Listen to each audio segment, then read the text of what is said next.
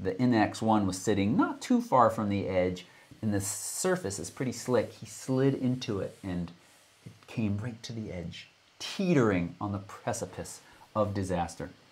Other sponsors, Squarespace.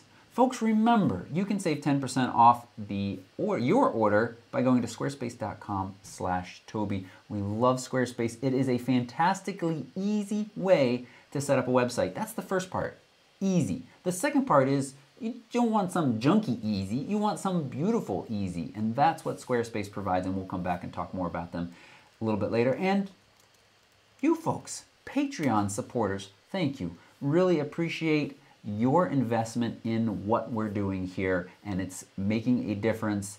And we have some exciting plans, uh, and we need to update that one goal. We're going to put in a thousand dollar goal, which we are getting very close to. And the growth there has been fantastic. And I think in a large part thanks to these Lightroom videos that we're producing, but thanks to you and your willingness to support us. Thank you. Great. So that's it for sponsors. Let's get on to some content. Okay. Um, so let's start by talking about last week's question of the week. What were the results of that? I don't see that listed in the rundown. I didn't go pull that up. Why don't we talk about the next thing? I have another Let's little talk thing about in the why what I pulled the that up. question of the week this week is, uh, Mhm. which is for the next year, you can only shoot at two focal lengths. Which ones would you choose? And where can they go to answer the could put that answer in a comment right down below. Great. You can put it in the chat right now and you can discuss among yourselves, but please come back and put it in the comments after the live show is over. Because remember, those chat comments, they add up, but they don't actually show up under the YouTube. I wonder if YouTube will ever change that. Uh, it would be nice to be able to go back and see that at some point. Uh, so, um, where did I put it on? I don't remember. I'll find it in a few minutes. Okay. While we talk. But that question, the current question, you can only shoot at two focal lengths for the next year. Don't think about lenses, just think about focal lengths themselves. What two are going to do it for you? I'm curious. Great. Yeah. Um, so, well, can I give my answer and then you can give your answer too? Oh, I'm going to give my answer next week. Oh, really? Yeah, you could give yours now if you'd like. Really? Mm-hmm. Okay. Why not just wait till next week? Okay, wait till next week. All right. I didn't want to. I didn't want to shut you down completely. If you really were excited to share. Thank you. Mm-hmm. I closed the wrong thing. Okay. So, in case you missed it this week, well, first we want to issue a small correction from last week when we were talking about the Pentax 645Z. Um, you actually said that it was the Pentax 645D that the camera that I was referencing that I wanted to try out, but it, we actually meant the Pentax 645Z, which is the updated version, the successor to the 645D. So Yes, uh, I was showing the wrong one. You were. You thought I was showing the right one. Or, I don't know. But yeah, eight grand. But nice. Yeah. Yep. And also, as somebody pointed out in the comments, you know, I had made a, made a mention of its uh, limited ISO range. Typically, medium format cameras are really meant for studio work and work where you have controlled lighting situations. And you're not worrying about shooting in lower light situations. But the 645Z does have a decent ISO range and is much better, and that's why one of the reasons why it would be fine for your wedding work. Yep. And I'm not sure how relevant or what, what the context of this is, but um, apparently Lightroom should be fine on four gigabytes of RAM. Well, we had a brief discussion last week. I feel a little snobby because I was like, because somebody asked about the new MacBooks that had recently come out and Oh, whether right. or not Lightroom would run carefully, run well on them, and I was like, you really want 16 gigabytes. Well, there's quite a few people chimed in in the uh, comments that said they're running it with four gigabytes and it seems fine. I, all right, I'll meet you halfway and say if you think you're going to end up with a bigger library or your files, 8 gigabytes is always going to be better, and 16 is going to be even more, but it seems like 16 probably is overkill. 8 is fine. 4 seems manageable.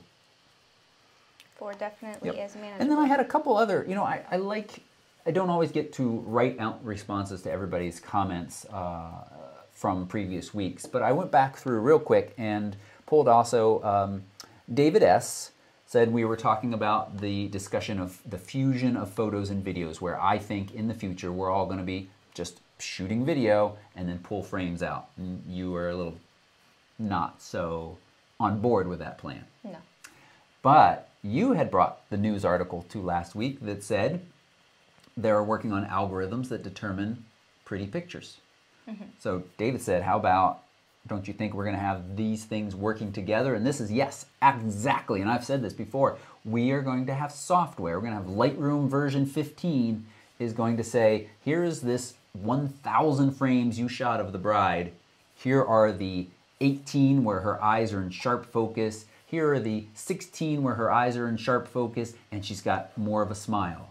It's, it's going to have that type of smarts to it and it's going to pick out the good pictures for us. Okay. I mean, I just think that you are not always gonna just want the picture that's in focus, that like where this particular thing is in focus. So Yeah. it's a little bit n- less straightforward than that. And it, just because it can pick the photos that the, the general population deems as being the prettiest or the best, doesn't mean that a particular artist who has a different vision and a different style isn't going to want to select something else. Sure, maybe it'll work for some people and some pictures, but it's not going to be like.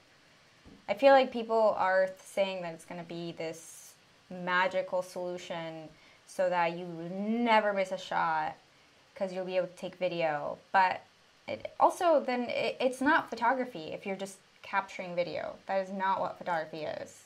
Do you think, well, do you think there are some older film shooters that say digital is not, you're, you're starting to sound like you're stuck in this paradigm of the way it is now is the way it always has to be. Whereas film people probably feel like, I had to very carefully choose my shots. I had 12 or 36. No, I mean, we're talking before. about capturing a still frame, which takes a different perspective and a different approach than capturing video and motion.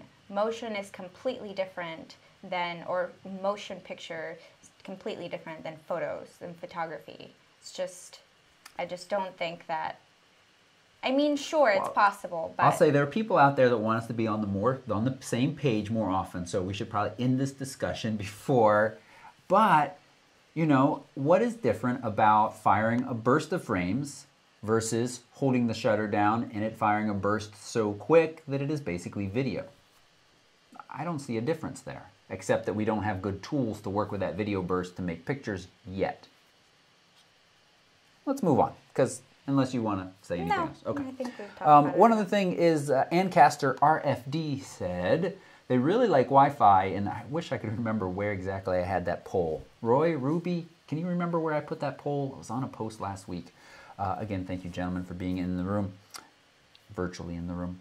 Uh, said that he really likes Wi-Fi. I think this is a he uh, because they can shoot a frame, have it transfer to their high-res iPad, check it out, see if it looks the way they want, and then shoot. Because, and I hear this so often, people say, the pictures looked fine on the back of the camera, but when I got them on the computer screen, they were slightly out of focus, or I didn't feel like the exposure was just right. What's the deal?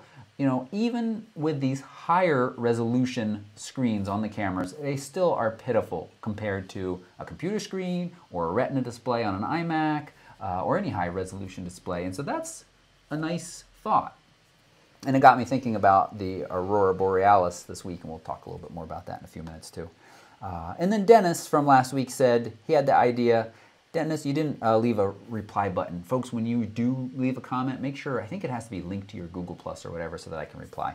I can't always reply. He said, why don't you buy a cheap NX, like 2000, and then you can use that as your Wi-Fi transfer device. Whatever camera you're using, pop the card out, pop it into the other one, transfer it. See, right there, that sounds a little too complicated, Dennis. I want it to just work in the camera I have. You also said for 60 bucks on eBay. I didn't see any for less than 200 when I looked briefly. But it's not a terrible idea if somebody's desperate for Wi-Fi picking up one of these cheaper Wi-Fi enabled cameras. However, very commonly, mini cameras will not read another camera's um, image file format. They'll say, I, uh, "What is this file? I can't do anything with it," and they're not they're not gracious enough to say, I can't do anything with this file, but I'll still Wi-Fi transfer it for you. No, they're just like, hmm, I can't see that. I don't know. That's what they're like. So,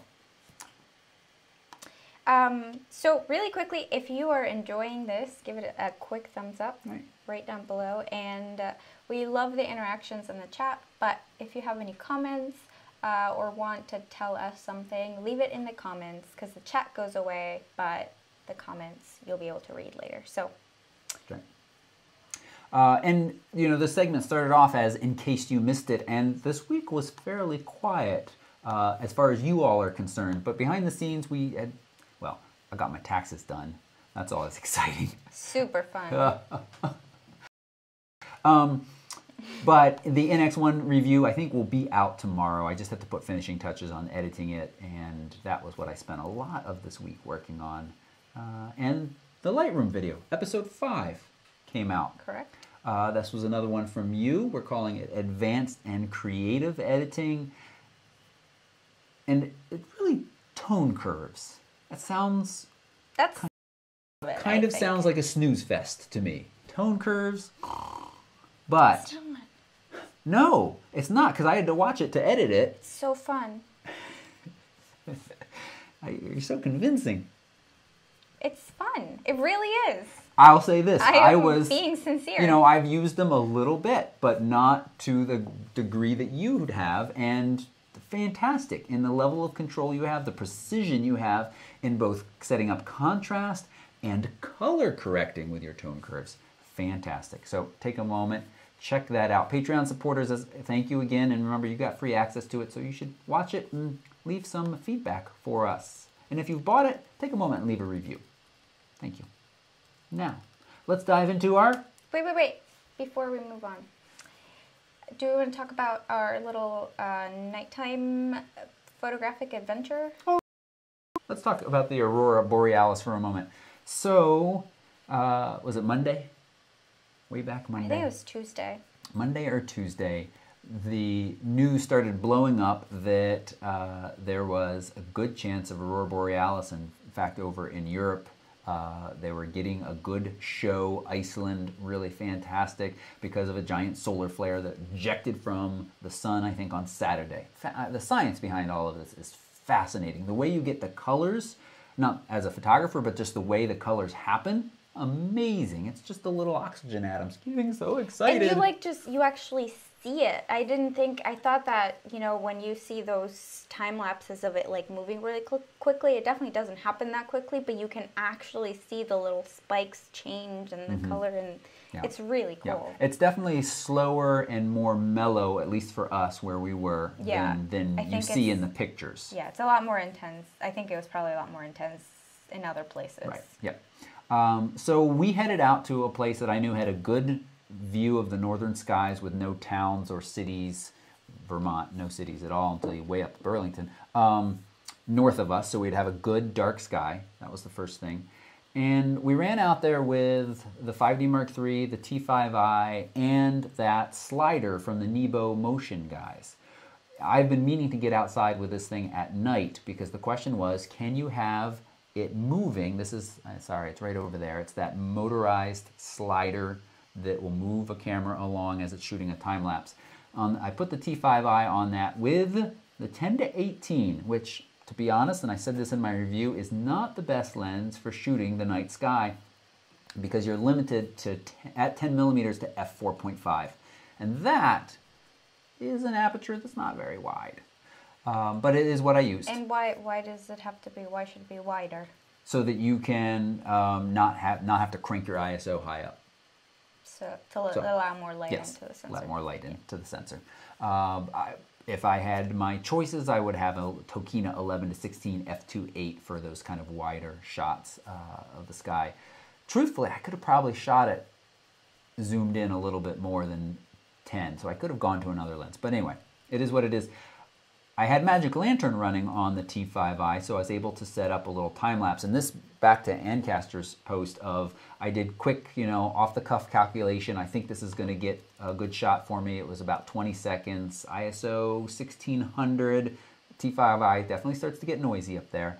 Um, and as I said, f4.5 at 10 millimeters. And I just started the time lapse software built into um, Magic Lantern and let it run. And I'm quite happy with the results of it. And I could actually, if you want to talk a little bit about shoot setting up the 5D Mark III, what we realized is left things like the intervalometer at home. Home was about 15 minutes away, and um, Triggertrap stuff would have been really nice to bring because it was very cold and very windy. I mean, like buffeting you gusts of wind. My fingers and getting everything set up were freezing. Somebody was in the car a lot. Hey, I don't want to be uncomfortable. Um, so we actually left. This is one of the nice things about living in Vermont. On this back road behind a snowbank, shooting the sky in the middle of the night, I left the T5i sitting on this Nebo motion slider while we drove home and back, and it took us about 45 minutes. It all ran the whole time, and I have a little time lapse. Um, it's it's okay. It's certainly nothing amazing, um, but it's not too bad either. Uh, and let's see if I can pull it up here. But any audio with it or anything yet. But let's see. I got to go to Wirecast and share my screen.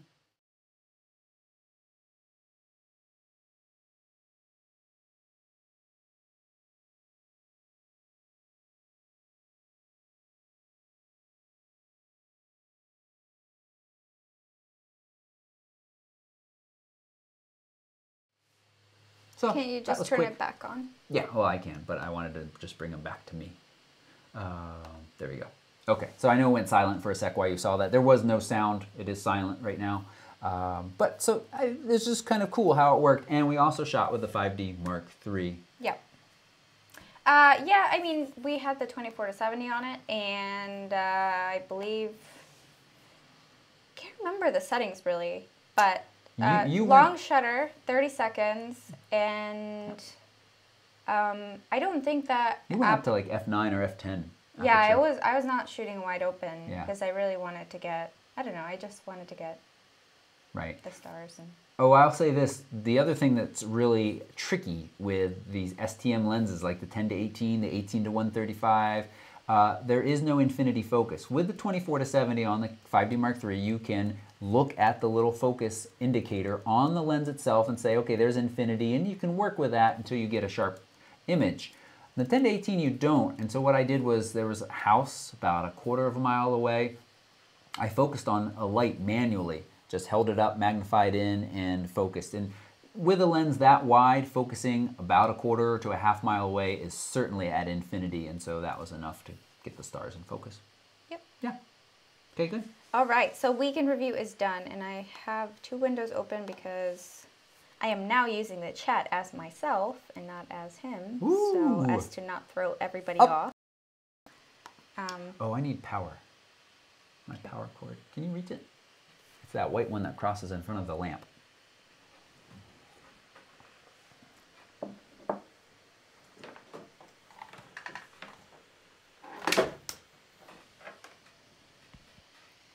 We're gonna go under. okay. So let's move on to news now. Adobe has released a new version of version 8.8 and nothing too exciting has come with that update mostly just support for new cameras and lenses um, so that you know if you have the latest gear then it'll be supported by lightroom and camera raw Right. photoshop This is So- well. This is always a frustrating thing about buying cameras that have recently been released is that you can't open the raw files without in just straight in Lightroom.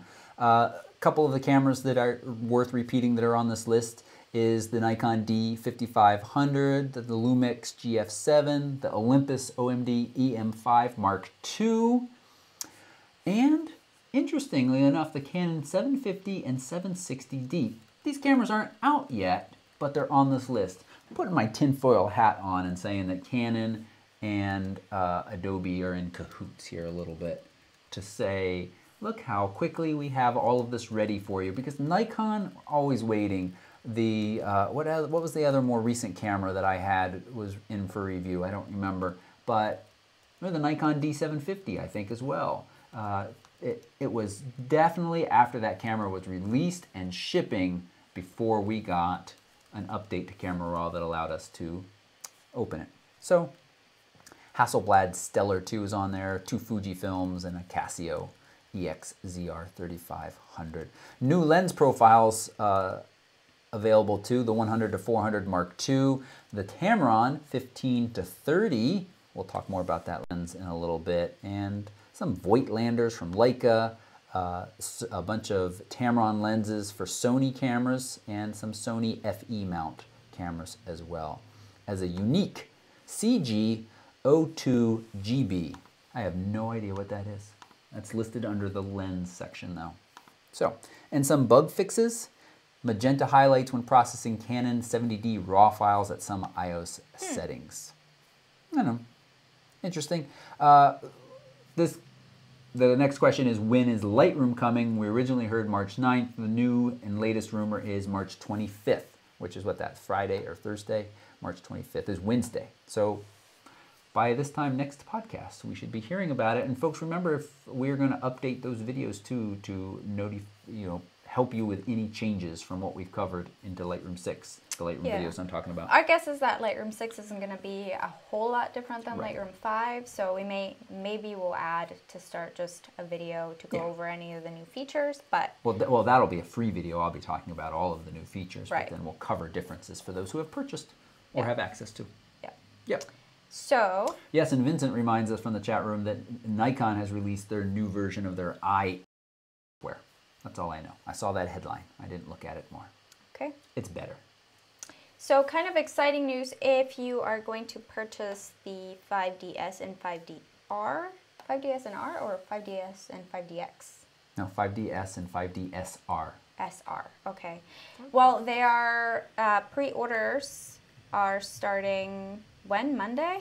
They will be available Monday, Monday 23rd. Yep. So there it is. Put it on your calendar. At 12 a.m., get in line if you want to be guaranteed this to be shipping. Now, they're not shipping until what? Like mid June ish? Um, so you're going to be waiting a while, but at least you can now put in a pre order. Canon really did announce this early on uh, and the thought is they really want to kind of stave off some of the bleeding to folks who are jumping to Sony's A7, A7R, uh, and he's going to be announcing stuff soon, which we'll talk about in just a few minutes. Yep. And more 5D Mark IV rumors. I actually had to go back. I don't know how much we want to talk about this. I had to go that we didn't already talk about it last week because it feels like almost every week we've talked about this to some yeah. degree. But um, Corey, well, Corey it, found stuff last Sunday, uh, and that triggered me to do a little bit of research, and I found some info and blogged about it last Sunday. So the latest information is the 5D Mark IV is not going to be along until August or September, and this date is somewhat fluid based on how well the 5DS and 5DSR will, um, 5DR will sell. Uh, currently, the 5D Mark III is still selling very well, which I expect and um, it's true. Now, the rumored specs 28 megapixels, 9 frames a second with 4K video, and a significant advance in Canon's off camera flash control, which is interesting. This is in contrast to a few weeks ago, we talked about the specs of an 18 megapixel, crazy high ISO, 61 AF points, 12 frames per second, dual CFast cards, 4K video. And I said, no, this is not the 5D Mark IV. What we're seeing now, these rumors, this sounds in line with what I expect. 28 megapixels, 9 frames a second, 4K video. I can, I can go with that. I can say that that is a definite possibility. I tell you though, I'm still on the fence about 4K. Not that they not that I think they can't do it, but that they will have very soon a cinema uh, a more affordable cinema style camera that they'll want people to go to. And they, as they've shown from the 7D Mark II, really want to start putting these cameras into these clear niches. Like the 7D Mark II, that is clearly a wildlife and sports photography camera. Or the 5DS and 5DR, clearly high-end studio and landscape photography and have pitiful video functionality. So, but of teeth gnashing and moaning from the masses, including myself, if they really leave 4K video out of it um, and the 5D Mark IV kind of ends as that jack of all trades camera that the 5D Mark III is, it's, it's going to be very noisy and that might hurt Canon. So I can still go either way. I haven't made up my mind, but I wouldn't be shocked if 4K is not in that camera. I wouldn't care. um, so the D7200, the Nikon D7200, is now shipping. Yep. Can you remind us where does that camera fall and what niche that camera falls, if any? Well, that is, you know, that's that's Nikon's um, top end crop sensor camera.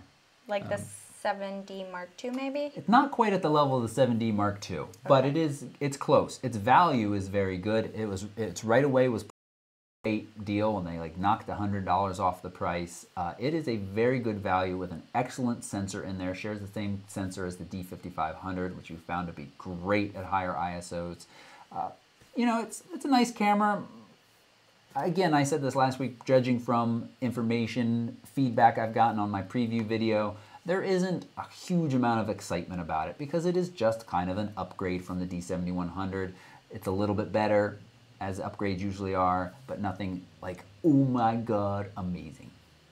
Right. So, but it's now shipping and it's a great value. If you're on a Nikon and you're on one of those lower level cameras, you want something a little bit meatier to put your hands on, a little better manual manual controls. There you go. Yep. So, no more rumor mill or gear Okay. news. Okay. Um, in the Washington Post, there was a, well this week the Google Doodle. I don't know if you guys Yeah. saw what the Google Doodle was. Was a cyanotype picture, picture of a cyanotype. Um, so there was an article in the Washington Post just talking about um, kind of a little bit of the history of the cyanotype and the photographer that started it, and uh, it's pretty cool. It is. Yeah, I just wanted to mention it briefly because I thought it was interesting, and I remember doing these as a kid. I don't know. Did you ever do one of these as a kid? You got that little kit from like the Discovery store, and you get to set There were no discovery stores in Venezuela. Oh, it's okay. It's a rural country, basically. Um, you get to set out this paper and you put things on it in, in, in the sun, and a few hours later, you've made a print. So I just thought it was pretty and it's interesting. Um, and in the Lightroom 5 video, hey, let's make this about us. Lightroom 5 video, you show a little bit how to do kind of cyanotype Yeah. tinted images. Not, not, I didn't touch or I didn't show how to do a cyanotype, but it's the same process as creating a sepia tone photo, which I did do. So um, it would just be a, you'd choose a different color. So yeah, um, new. Oh, just kidding. I lied. We are gonna talk about gear some more and Oh, some more rumors. rumors. Right. Uh, so NAB is coming, and What does NAB stand for, Christina? It's the National Association of Broadcasters. Nice job. Yeah, Um, you didn't even practice. I didn't even practice that. Um, So, uh, so, So a, Sony a, is- a video focused event usually. yeah, Mm-hmm. right. Um, and Sony is releasing two new full frame sensor cameras. So we are excited about this because we really, really dig Sony sensors. We do, but at the same time as um, I think it was Scott who put this into our rundown for us. Thank you, Scott. Uh, we got we got a lot of Sony full frame cameras right now. We've got the E mounts, we've got the A mounts, and these A mount folks. Those are the ones that look more DSLR like, that use the translucent mirror technology. They have not gotten much love from Sony recently, uh, and they're doing fine on bodies, but we need more lenses. We need more lenses on the FE mounts or the E mount side. Um, ah, gosh, they just they're coming out with bodies so quickly that it's a little bit of well, I don't know what it is. It's just they need to slow down a little bit. They need to focus on the lenses so that they grow their ecosystem and become more of this uh, option for true professionals in a variety of different fields. Right now, you know, there's a few, there's, there's a significant number of professional style lenses, but not as many as Canon or Nikon. So it's interesting. Uh, it sounds like that these are going to be uh, soft announcements, so they're just kind of kind of slipped into the product stream with maybe a press release, no big uh, keynote speeches or anything like that. And we'll see. One in early April, which that's like a week away, and one in May. Yeah. Yep. Okay. Okay, next thing. Sorry, trying to do two things here. I know. Um, Can't be the chat room monkey all the So, time. an article that it wasn't on a photography related website is it was on xojane.com actually. The article was titled "Live Like an Instagram Fashion Girl," and It was interesting and it's relevant because, well, Instagram is an app that allows you to share photographs, but also it kind of talk a little bit about a couple of little known tips for posting pictures on Instagram in order to get better, I want to say conversions, that's the right word. Um, so, one of the things was that apparently photos with white space in the background allegedly get more likes as they provide visual relief while scrolling through endless photos. Also, photographs with blue in them click best because that's a really popular color. Okay. So, So we should take a next picture of a picture on Instagram. our mugs with this nice blueness on a white background, and it should get a million likes. Sure. Yeah. a million likes. million likes. I'm sure some people got. You know, I did. I put it in the rundown. I don't think we're going to talk about it briefly, but Kanye West. I don't remember where I saw this. Um, I it wasn't. I don't read too many trashy websites, but somehow this came up in my feed that Kanye West went on a crazy little rant this week, and one of the things he posted was these kind of half naked pictures of Kim Kardashian. But what I was interested in is they are screenshots of pictures of her inside in an editing program. And what program did we decide it was? Phase uh, Capture One. Capture One. So yeah, that's what I think it was. Did you confirm? I yes, I did. I went and found the Capture One. So they weren't using Lightroom. I was like, well, if they're not using Lightroom, what are they using? And they're using Capture One, which is probably the, the, the number two choice of professionals, wouldn't you say? Especially medium format. It's really designed for working with large medium format files. That's all. What's next on our list, Christina? You can look at the rundown and tell me while I answer this question in the chat. Okay. Um, we got the Sony Alpha rumors. We've got the Kanye West, and then hey, did you know that bugs are capable of long exposures? That's really cool. is capable of long exposures seeing in the dark. And this is an article from Petapixel this week, put in here um, by Scott. And it says Scientific America reports that researchers at the University of Oulu in Finland inserted a harmless recording instrument into a roach's eyeball. All right, I'm not a big fan of roaches, but how do we know for sure that it was harmless? Um, in order to document the electrical signals that are generated when the photoreceptor cells detect an incoming photon. They found cockroaches' eyes are able to absorb one photon every 10 seconds in conditions equivalent to a moonless night. Although humans and most creatures wouldn't be able to process light signals at that rate, cockroaches pool the photon signals they detect over time, forming a long exposure image of the scene that allows them to see the world. A nocturnal bee and a dung beetle are reportedly two other insects that are known to use similar long exposure video techniques in the dark. That's pretty interesting. So, do they have to remain motionless or do they get a bunch of blurry images? Can you think about the headache you would get if you had to stay still to see and then move to see? That would, I would get a headache from that. I don't think anybody could hear you. You just talk so softly. Um, that reminds me of the old, like, sit around the campfire trick we used to do at camp. And that is, and I don't remember exactly the, the reason why this works, um, but if you, in a low light condition, stare at an object, don't blink, don't move your eyes, that object starts to fade away. And I believe the reason why is we've got the cones and we've got the rods, and one of them is responsible for, uh, well, one of them doesn't work very well in low light. And when you don't move, that is the one that's getting used the most, and you kind of lose your vision of whatever you're looking at. But by moving your eyes constantly, you are using all of the other bits that do an okay job, and you can continue to see even in lower light. So, take a few moments in a dark room, stare. It doesn't have to be a dark room, but a low light room. Stare at something, and it will slowly fade out of view. The other fun thing to do is you could do the one eye thing, and for like 15 minutes, you keep this eye covered, and then you uncover it, in the difference in a dark room, and the difference between night, the one that and the other one, I'm telling this terrible. Stare at a light source for like 15 minutes. No, don't stare at a light No, no. source. It'll ruin your vision. what are you trying to do? Uh, well, you could like a candle or a Okay, light or the TV even, and then or just have the light on. or just have the light on, right? and then remove, turn the light off, remove, and the difference in night vision. People forget, and this was true with the Aurora Borealis the other night, it takes our eyes mm-hmm. like 15, 20 minutes to really adjust. You get a quick adjustment that helps, but if you let it adjust longer, the difference is significant in what your two eyes can see. So, from long exposure cockroaches, so I mean, well, holding still a nocturnal bean, a bee, bee. I can't, he can't be doing that while he's flying around. That doesn't sound like it would work very well.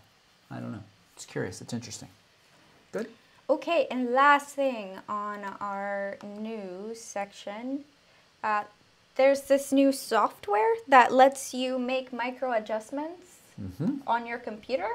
Yeah. How uh, does it work? Focal will communicate with, now it doesn't work perfectly with all cameras in, I have to find, where it is. It's made by these folks at Reikan. Um, they're a UK based company. And it is software that will help you calibrate your camera. Now, it doesn't work, well, one, their latest release, which is much better, is not Mac compatible at this time. They're working on the Windows version first, then they're going to port it over to Mac. So that's a little annoying pretty much 90% of the comments are people saying, I want the Mac version.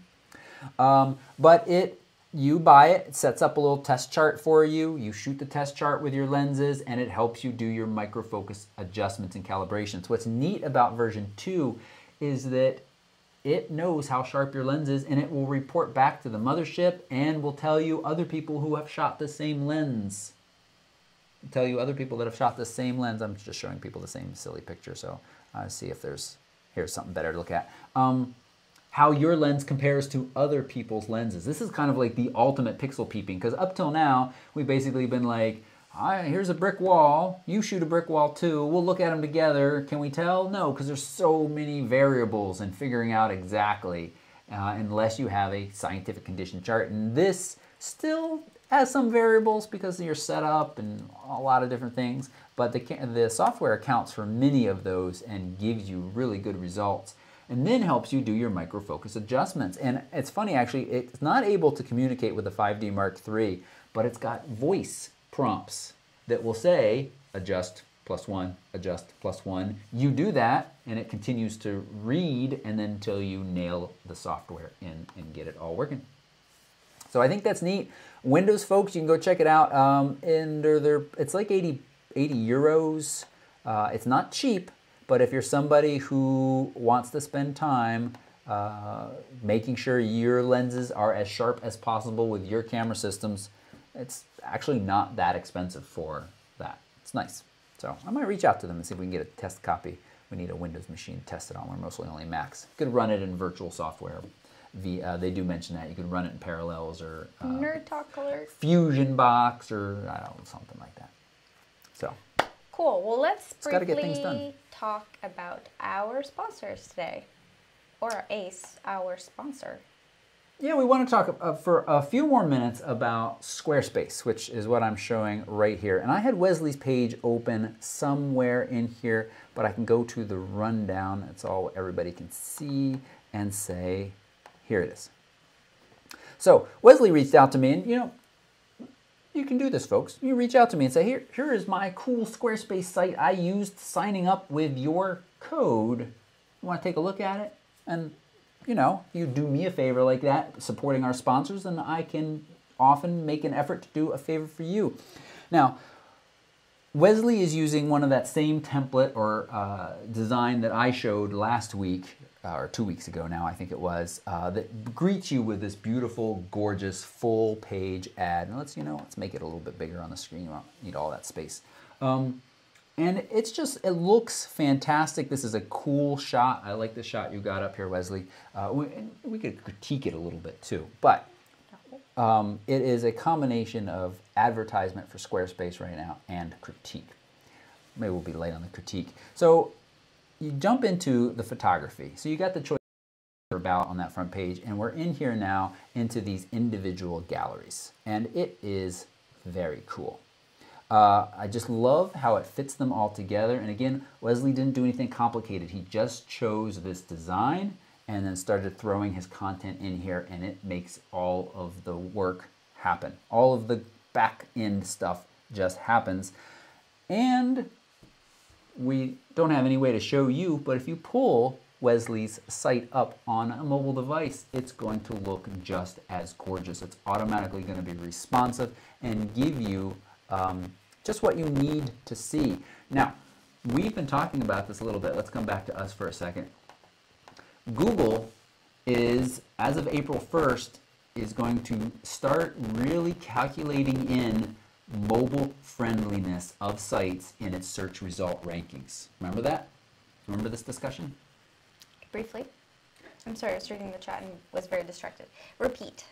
Google is going to start um, factoring in mobile That's right. friendly design Yeah. into its ranking. Sites that are very unmobile friendly are going to take a hit, especially on the mobile side. I don't know if they're going to penalize them on the desktop side. That seems a little mean, but you got to have your site optimized for mobile devices, and Squarespace just does it. You don't do anything other than put your content in there. Squarespace takes care of it. It is mobile ready, mobile friendly, and responsive design. Folks on Squarespace will not be taking any type of hit from their search engine rankings on Google. So uh, I think that's just really cool. If we come back here now, I noticed Leslie's got some beautiful work on here. I'll say that, and some really nice stuff. There seems to be some static coming from your mic, or maybe my mic. We got it plugged in. And Let us know if that fixed it, folks. I wasn't, I didn't actually do anything, so we'll just hope it's fixed. Um, beautiful work here, and I don't remember where I saw it. Was it on the blog, Wesley? You had a, um, oh, you have your new gear and your camera settings, and that's all very exciting. Oh, and your video right here. But someplace you had a cool, ah, yeah, I enjoy taking time lapses. So you've linked off, now this is fine, but I'm going to use this as an example uh, of of what you can do in Squarespace. So you've linked off to this fantastic time lapse that you've shot above the fog. You shot it with a T3i and uh, Whoa, that some is other a gear. cool Yes. time lapse. Yes, it's very nice. We'll skip forward a little bit because, and there's audio too, but I don't think you all are getting the audio. You're only getting ours. There's some good music with it, but let's skip forward a little bit more to show you some of the other stuff. Yeah, really nice job, Wesley. Good work, good post processing. Looks great, but I think right now you've just lost everybody. They've all ended up now on Vimeo, and there's no way back to your website other than. Well, you actually have that open in a new tab, which is fine. So I just wanted to show people briefly. Okay, hang on. I think the sound might be screwy on this screen or something. Yeah, that was Oh, it. there we go. Okay. Christina figured it out. Okay, so I just want to show briefly how easy it is to take um, a video and get it into Squarespace. And I'm going to show one thing that it does that I love because there's something YouTube does that I really dislike. So we're in here. I've got this one picture, see the world through my lens, a little cheesy, blah, blah, blah. Let's do, let's go to our about page, just like Wesley had. And on this about page, I want to insert um, some new content. So page content, I want to click the little edit button. We're into this little editing thing here. And we can come down. Actually, where is it? Am I going to embarrass myself? There we go. We're going to, right here, we're going to click this uh, Okay. little eyedropper. No, sound is still bad. Sorry. Um, I, it's listed as fine. And we're getting fine there and it sounds fine. Maybe let's, let's unplug it for a second.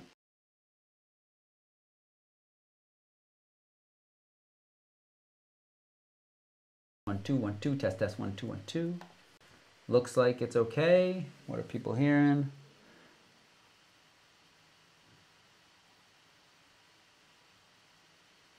There's no batteries. No batteries. I just unplugged it and it's back. And what are we saying?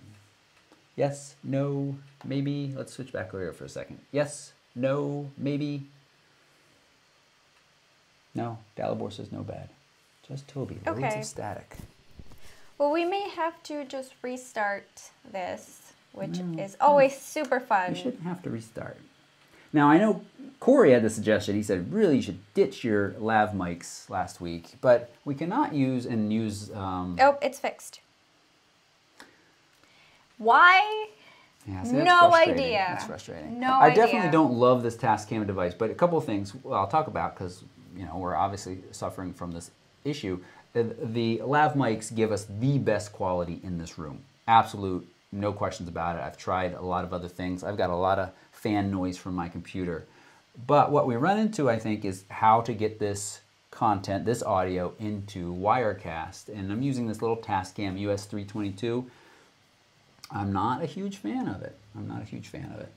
So, good. Okay, sounds good. Let's get back to talking briefly about our sponsor. And I'm going to repeat myself briefly here and say that I want to show you, I just showed you Wesley's beautiful stuff. You didn't have to hear what I was saying. You just could look at it and see it was beautiful. Um, but as one, as one Vimeo took you off the site, I want to show you how easy it is to add a video into Squarespace and give it a custom thumbnail because so often I will post a video onto my page and YouTube's thumbnail is just an automatic one. And even after I go to YouTube and say, no, here's the right thumbnail to use, the ones outside that get pulled on Facebook, on my personal pages, my blog, still use the old thumbnail and it drives me crazy. So I'm here editing my about page. Uh, all I did was click the edit button. I've clicked this little dropper and I'm gonna insert a video. So all I have to do is put the URL of the video in there and I've got my Aurora one right here. So I'm just gonna grab this URL and stick it in here.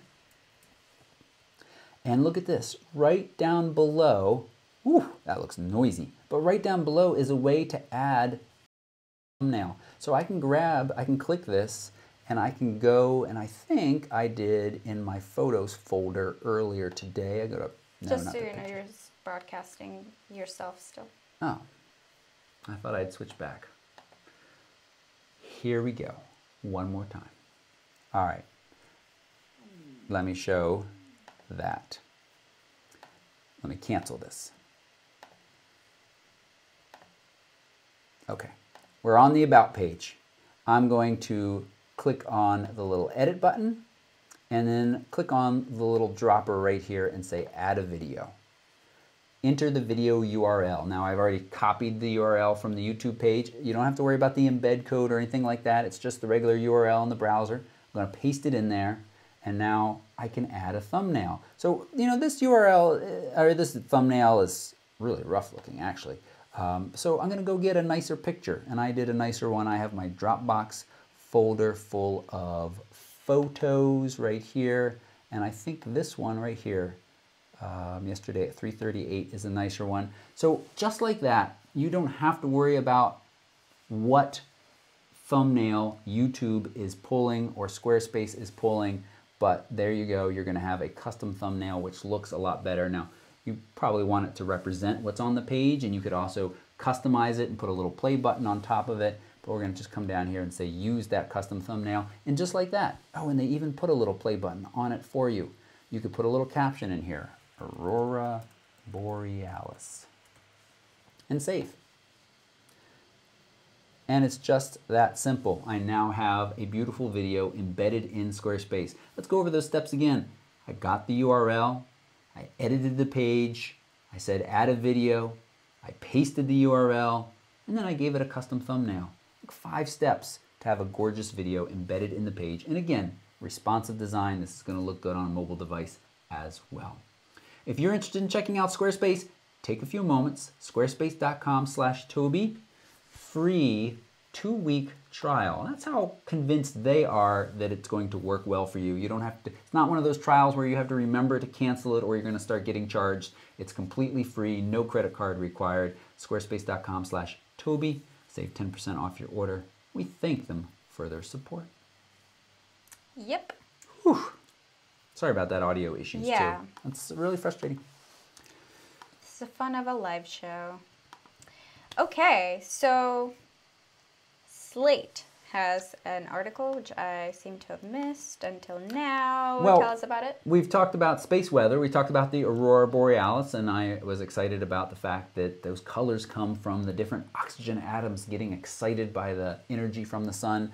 Um, but we also today, in certain parts of the world, had a solar eclipse, which sounds like most of the areas were kind of skunked out with clouds. But some people got to see some things. Dude, actually, I don't know for sure that it was a dude, um, took a video of the solar eclipse while the ISS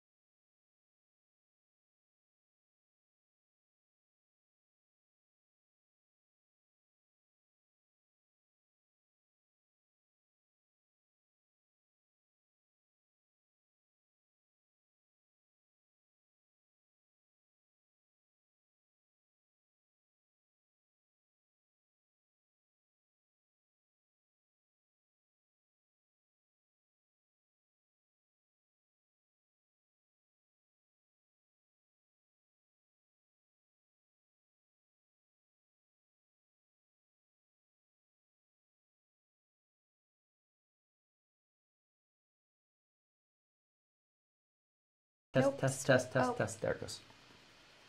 And it's back now, Yeah, randomly. yeah.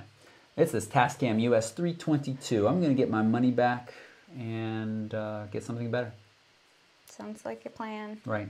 Well, I mean, we've had other audio issues in the past, but that was those were different. That was when we were piping it into the computer and then using the software to monoize it, and that software was having issues. Do you guys remember the District 9 crackling? The District Nine It's crack. for fun times. Yep. I want the sequel to that. I might not still, might still be quiet for them. Um, I think it's just give it a minute. They're you know they're they're like 30 seconds Oh, back behind us. Yeah. I know, but when we change. I know. Okay. So, what was I going to say? So, our discussion. Let's move on to discussion and Yeah. hope that the sound doesn't go away. Yeah. Um, so, we are going to talk about one of my favorite people, Ira, Ira Glass, Ira Glass. and his quote, which is actually a quote that I had heard before about the creative process. And are you were you going to play the video? I was not going to play the video. I was going to tell people to go watch it, and I was going to summarize it. You should go watch it because he just has a, a just a really nice way of telling stories and words and saying things. So, but I'm gonna try to read it too, so we can talk about it, right? Uh, Can I can I just summarize it because I'm realizing now we're about an hour in. and We're Oh, gonna do sure. reader questions. Yeah, that's fine. So it basically, he basically says people don't tell you this, but when you're starting out, and I think people do, to some degree, when you're starting out, you're going to suck. You're going to suck for quite a while. You're going to struggle for maybe years at anything creative that you're trying to tackle. And it's going to take you some time to get better. Now, we've talked about this before, and last week we had that inspirational quote that says, just get out there and start doing it, and you'll learn stuff, and I think that's great. But I think this is a nice kind of uh, counterbalance to that because I think people expect themselves to pick up a camera and take beautiful pictures right away, and it's not going to happen. But the other thing that I was thinking about while I was reading this is that I think in for photography there is a little bit of a dangerous thing that happens in that people think they're much better than they are early on. yeah, There is this kind of disillusionment of you get a couple good shots, maybe lucky, maybe you just did a really good shot, and you think you are on the way to awesomeness. And then that makes the subsequent sucking for a while even more frustrating. yeah, Or you just continue to be disillusioned and think you're awesome. I have people send me pictures from time to time that they think is awesome. And it's not a bad picture, but it's just a picture like any other picture I've seen that day, that week, that month. So, you know, you just got to realize what's my point here? Point is, don't give up because, like we have said before, we actually I think talked about it last week. It takes, you know, the the rule of thumb is that it takes about ten thousand hours of work. It takes you putting in about ten thousand hours of work to master any given craft, whatever it is, whether it's photography or graphic design or anything. So I think that it's really good to have goals and it's really easy to be disappointed because you're not getting the results that you want right away. But the truth of the matter is that you have to put in the time to get better and to improve and to grow. And the other thing along with that is that, you know, I'll say another quote that I've heard a lot, and that is comparison is the thief of joy. And I can't Hmm. remember, it was a really big person in history that said that. I want to say like Thomas Jefferson, maybe? I can't remember. But um, Theodore Roosevelt. Theodore Roosevelt. Um, and it's so true. I mean, I do this. I compare myself to other photographers that I admire. And the truth is that when I look back at my old work, I see so much growth, so much improvement that the only person that I really should be comparing myself against is just myself. So, and again, that's something that you're going to be able to see over time. The more you create, the more pictures you create. And this goes, I think, right along with the quote from last week, which was that, you know, artists, like art doesn't come from inspiration, artists comes from work, from sitting down and actually getting to work Right. and, yeah, and being involved in the process. So, kind of, maybe you start getting a theme here that you just have to go out there and do stuff and not get bogged down in the details and not beat yourself up about not being as good as you hope that you are or that you wish to be because we all struggle with the same thing. At whatever level you're at, uh, you're always going to want to wish to be much better. So, Yep.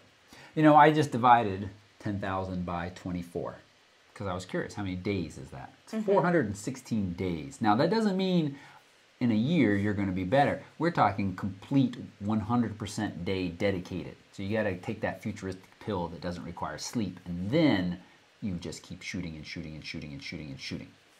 I saw another interesting quote today that said, uh, or this week, it was that, um, you know, learning doesn't come from doing, it comes from reflecting on the doing. And I think that ties in nicely with one of our tips last week, and that is go out and shoot a bunch, but then come back and you have to look at those pictures and look at the metadata to kind of digest what you captured, how it was captured. And you know what? The metadata is really only half the story because that doesn't account for things like composition and stuff like that. But it's part of the story that's important, and you got to get that down so that you can have technically and uh, technically competent photos to be able to get the other type of photos. Okay. yep. So now we're going to move on to questions, viewer questions. Yeah. And let's take a look at here. You know, there was one other thing I wanted to say about weather sealing, but we'll save that for next week. Just fact, when you see weather sealing listed, I've been doing a lot of research in the last couple of weeks. Weather sealing listed really, it can mean a wide range of stuff. Thinking back to my 5D Mark III, you know, it wasn't because that Sigma lens was on there I thought you were going to talk about it next week. had issues. Yeah, I'm going to talk about it next week. Okay. All right. So John Inglis wants some recommendations for video captures or screen capture software for Windows. Yep. Cam Studio is a free software that I've used in the past. I just went and looked at it uh, before the podcast. It has not been updated in about two years, but it's still a very capable and completely free software that will do a decent job. If you're going to be making money at this or you want them to have a more professional polish, something like Camtasia, which has a Mac and a PC option, will work for you as well. For those who are on Mac side, John didn't ask about this, but ScreenFlow is kind of the de facto, de facto standard. Very nice software. You can edit all within the software, so it's not only capturing but gives you an edit as well. If you Google ScreenFlow for Windows, what comes up does not look very good. Not, I mean, not, it's not like sketchy or anything, but it just doesn't look like it's not by the same company, although they're using the same name. So, there you go. Yep. Next question from Walter Reel. He says, Toby, what? I thought you were gonna. I didn't know why that. What was that long pause for? Oh, well, I was just, I was trying to get to the question. Okay. Um, not sure if you've done anything on this topic, but maybe the subject of an. Of, what are your guidelines, recommendations for converting 35 millimeter slides to digital images, and how to get reasonably sized, best quality images for long term archives? Roy nicely is working on a post that's going to answer this question. Awesome. Yes, and I'll tell you, I'll be honest. Uh, I would be inclined with a very large amount to send them off someplace to Scan Cafe because it is a huge amount of work. Now, if you want to do this work, if you're you're looking forward to it, and or you don't trust somebody else with sending stuff out, um, then you can. But it's going to be a lot of color correcting to get them all looking good. I did this project a couple of years ago. Uh, not not too many, but for the college I worked at, they needed I don't know a couple hundred, and I ended up using a macro lens with the slides on a nice light table and just shooting them uh, with a macro lens. The slide scanner I used was a really nice Nikon one, but it kept jamming again and again and again, and it was just miserable. So I ended up doing it kind of manually. So Walter, look out for Roy's post. That'll be up sometime soon. Yep. Um, Say wants to know, when taking photos in low light, how can I eliminate or limit the amount of blowout I get when photographing scenes with artificial light such as lamps or street lights? I want to avoid this blowout with lamps. How can I achieve this? So, buy a Sony. Oh. It's, it's all about that dynamic. Wrong. It's all about that dynamic range. But yes, it's about dynamic range. And while you know current Nikon, Canon cameras, so unless you have that, maybe the Samsung NX1 or the Sony 7R S7R. I don't a7R, A7, A7R. yeah, yeah. A7S. So unless you have those, uh, you and even when you have those cameras, I mean, you're talking about several different stops of light between the shadows and the highlights in a low light situation. So you have really one you can use flash to fill in, and two you have to really try to expose as evenly for the highlights and the shadows as you can and then try to maybe bring those back in. There's no like one quick, there's no quick fix for this. You have to either try to expose evenly for the highlights and the shadows or my other suggestion would be to take multiple shots if you can on a tripod and then try to combine those later in Photoshop. Yeah, so an HDR. An HDR. Yeah. yeah. Um, yeah. So that that's how you can take you can prevent blowout of the highlights in uh, low light situations. Mm-hmm. Yep. Yeah. Okay. Um, I'm skipping down just because I saw it. Wesley, who we just shared his wonderful Squarespace site. How often do we use mirror lockup? Uh, I've, I'd say not very often. I usually use it when shooting longer exposures. So for those who don't know, when you take a DSLR picture, two things happen in there. We're going to we're to simplify it and say two things happen. The mirror flips up out of the way so that the light coming through the lens can hit the sensor, and then the shutter opens and closes. And the mirror flips back down. That process of the mirror flipping up causes some vibration in the camera, and at certain shutter speeds can blur your images if it's on a tripod. We're talking shutter speeds that are usually around um, a quarter of a second to a full second. Shorter shutter speeds than that aren't affected. Longer shutter speeds than that usually aren't affected because the shake settles out and the image is burning into the sensor without the shake happening, and so you get sharp enough. Uh, there's been some neat experiments where people put little laser pointers on top of their camera and then shoot and see how much it wiggles on the wall and things like that. Anytime I'm using a shutter speed, where I just said about a quarter of a second to one second on a tripod, I will try to enable mirror lockup, or I will. The other thing you can do is if you shoot in live view, the mirror is already up, and so you've kind of negated that lockup necessary. So more and more often these days, I'm just shooting in live view because it does the good enough job. Um, yeah, time lapses. See that time lapses gets get tricky because you can't really keep that. I don't think many cameras will let you keep the mirror up, and this is where mirrorless cameras start to really come into their own as one of the options that are nice.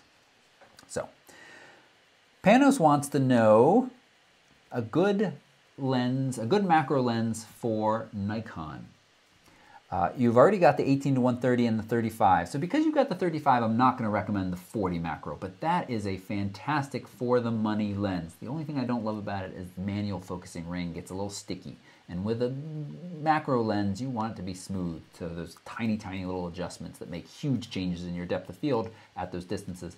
So uh, next one that I would probably go to, the Tamron 90 is a very good lens for the money. That was part of my macro lens um, in that case, I was using it on a Canon, but that's about $4.99, I believe, and that's a fantastic lens with VC, vibration compensation. I actually think the 499 one might be without VC.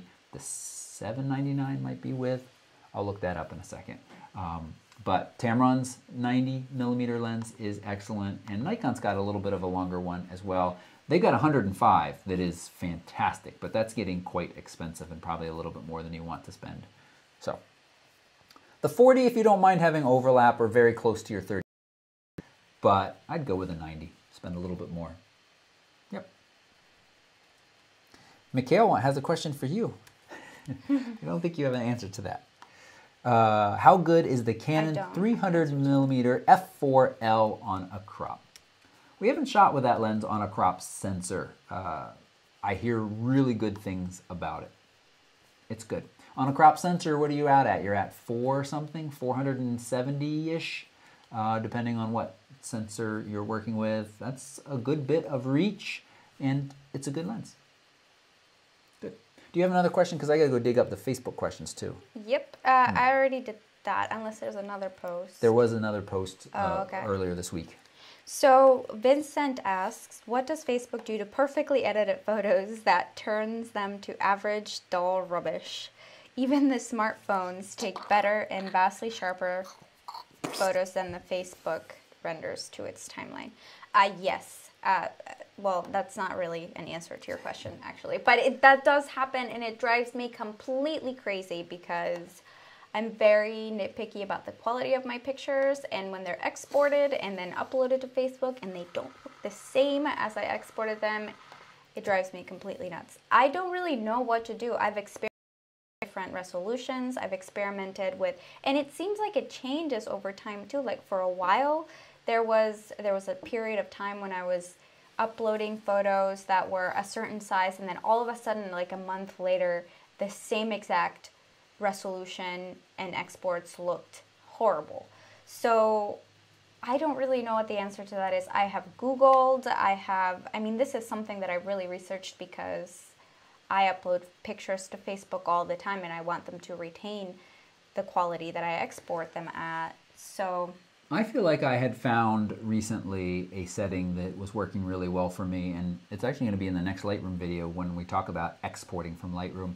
Um, but 2400 uh, pixels as its longest, so that, that's a setting in Lightroom you can say. Make sure that the longest side of this image is no more than 2400 megapixels. Sorry, pixels, uh, and 72 DPI. And they seem to look good. Oh, and also, what was it? Um, 16 by 10. 16 by 10 seemed to fit in that news feed really nicely. So in Facebook's defense, I don't really want to come to the defense of Facebook, but the sheer number of images being uploaded every day to Facebook is jaw-dropping. And so they compress the heck out of them so that they don't have to buy 8 billion terabytes a second of storage. I'm just throwing all kinds of numbers around. So that's the defense of why they are compressing our images. But yes, golly, and it's one of the reasons, one of the several reasons why I wish Google Plus had survived, or not that they're completely dead, but they basically are, uh, because they display your images so nicely. They still do, and that whole photo part is going to be split off, but nobody goes there. Everybody's on Facebook, so you got to put them on Facebook. Yep. Yeah. Auntie Van wants to know what is the best filter to buy to start with.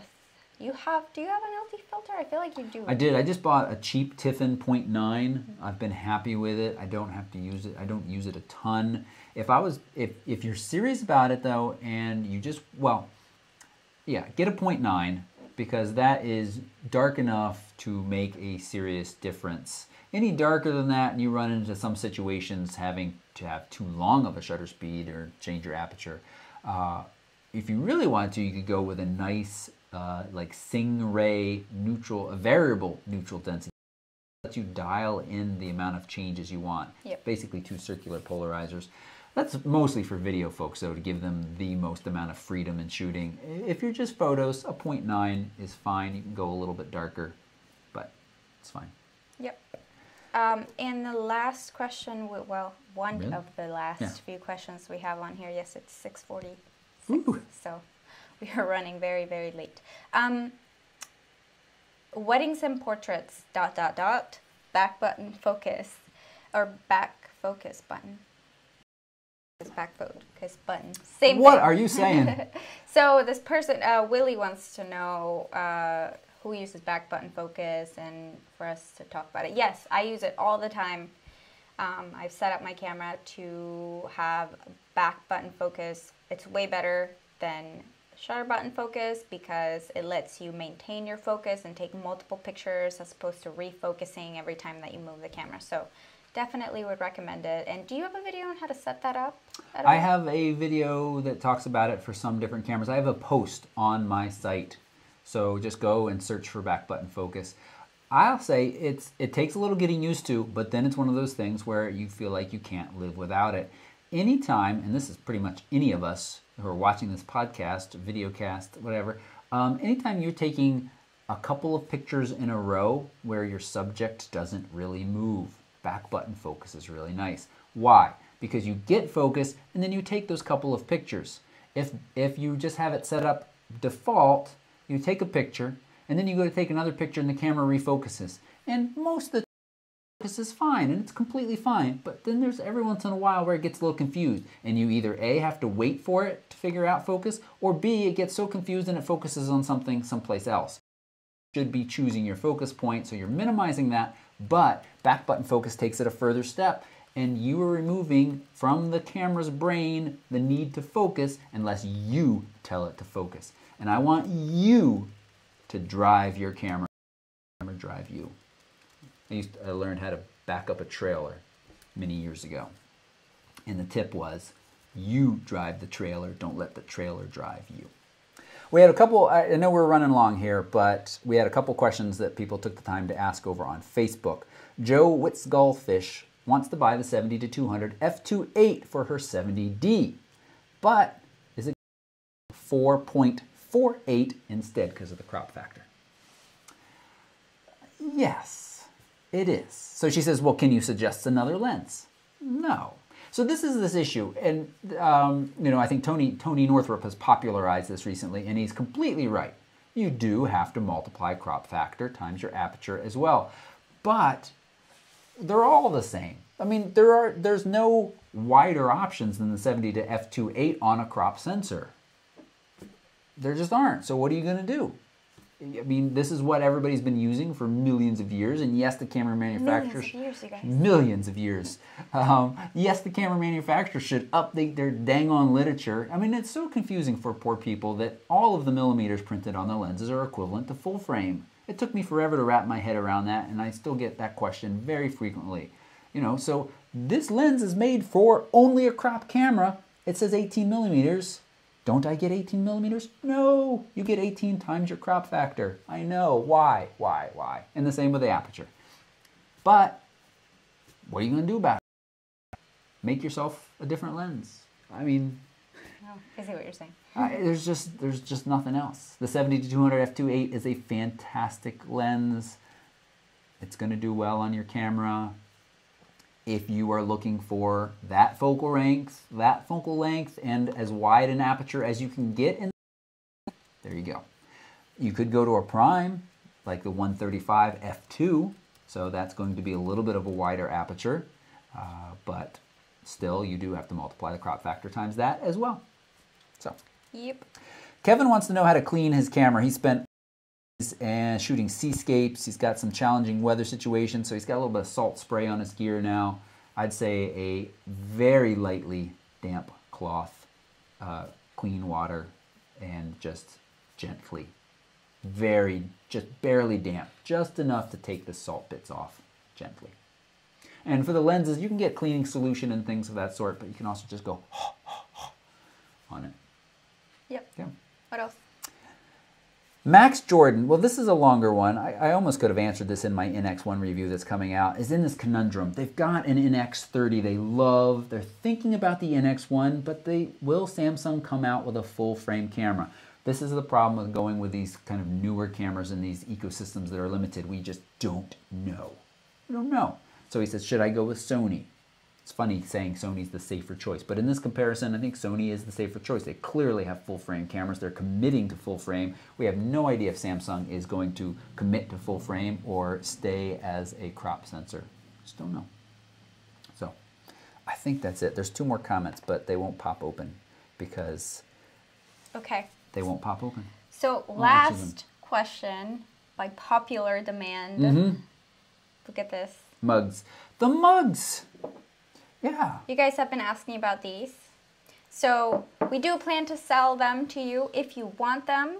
Uh, we are hoping to have them within the next month available in the store. For keep your eyes out for that. We'll definitely announce it and keep you posted. Uh, but we'll keep it top secret. Nobody will know. You'll have to come to our website every day and check the shop page right. to see when they're available. Right. No, just kidding. But yes, we will have them. If you want one, you will definitely be able to get one. Good. And I think that's it All right. for tonight. Yep. Thank you everybody for watching. We really appreciate you commenting and liking this video right. and uh, interacting in the chat. It's really fun, sometimes distracting to follow the conversation I, I, there. I did not see it much today because it is very distracting. I'm distracted enough by the audio issues. But if I didn't follow the chat, then how would we know that, that we were having audio uh, problems? That is true. So Yes, I know. Anyway. So Someday. thank you guys for watching. and now this is the awkward part of the day. I don't think it's awkward. Or evening no. when we just linger. Can we talk about what we're having for dinner? I'm really hungry. We're having dinner. Mm. Yep. Do you guys remember the bloopers? Do you miss the bloopers? We used to do the bloopers. I wasn't a fan of the bloopers. I got in trouble for some of the bloopers I put up. Um, Yes, because you weren't a fan. And we did the Meerkat streaming at the beginning too. Uh, Trilina, I think, was the one who told us. Clearly, does not. The, I looked at it on the desktop, and it is like this much. The camera was the the phone was sitting way over there, and from the back of the screen was perfect behind the scenes. Here we are sitting, similar to what you're seeing, but from an angle. But the Meerkat desktop app is was like my head and chin, super cropped. Yeah. So I stopped that. We'll go back and look at that again. Talk to folks at Livestream this week, which offer a variety of really cool products. Uh, some Wi-Fi streaming direct to YouTube and their own streaming system. Pretty neat. So I hope to have some more information about that soon. Yeah. And you know what happens when really long is people come along and they look at it and they go, there's a nerdy camera talk. I don't want to watch that. But they can skip.